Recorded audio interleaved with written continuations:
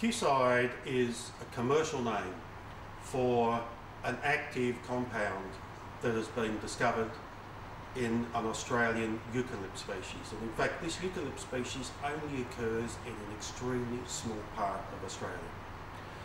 The extract is highly effective as an insecticide and we've identified its activity across a whole range of insects in laboratory trials.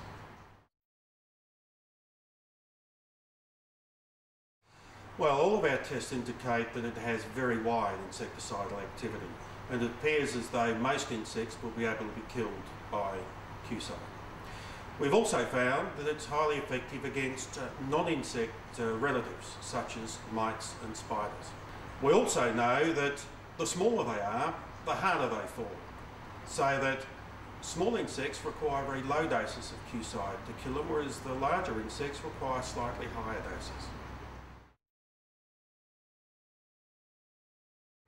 Qcide has a unique mode of action. It's quite different to other insecticides.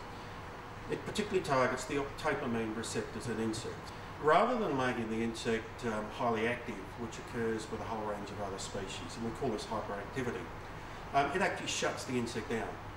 So we find that um, very rapidly, because it, it, starts extremely rapidly, and so we have what, what is called a, a, a quick knockdown effect. So we get a very rapid uh, action, then we find that the insect basically just shuts down, just sits still, doesn't move, and we wonder is it alive or dead? Poke it, definitely dead, there's no worries about that. So this is an interesting difference in its mode of action. We believe the Qcide is very safe to humans. We've already undertaken as part of the development of Qcide extensive laboratory tests.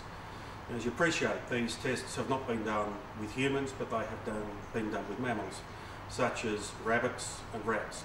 And all of the evidence, both from short-term and some of the longer-term studies, has indicated that this compound is highly safe.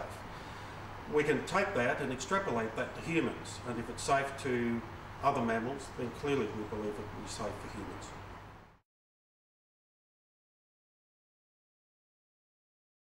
Well, I guess I'd say all the evidence at the moment is that Qcide is environmentally safe.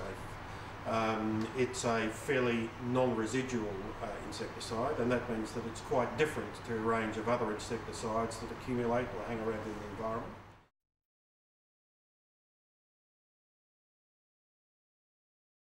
This is a major discovery.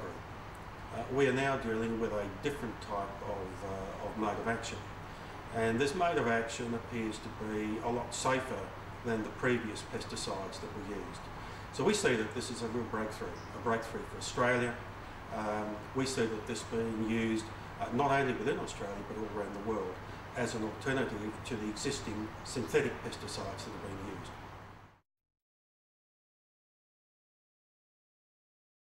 The future for Qcide is extremely bright. First of all, we're dealing with a quite unique compound. We're dealing with something which is quite different to the synthetic pesticides. The second thing is we're dealing with something which is safe uh, to the environment and uh, to humans. We also believe that not only is this a wonderful Australian discovery, we believe that this has potential to revolutionise the pesticide industry around the world.